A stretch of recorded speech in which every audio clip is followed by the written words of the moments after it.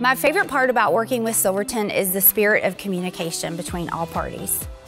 My name is Amy Goodrum and I've been a loan originator since 2005. My favorite part about being a loan originator is helping people achieve home ownership. They're so happy at the closing.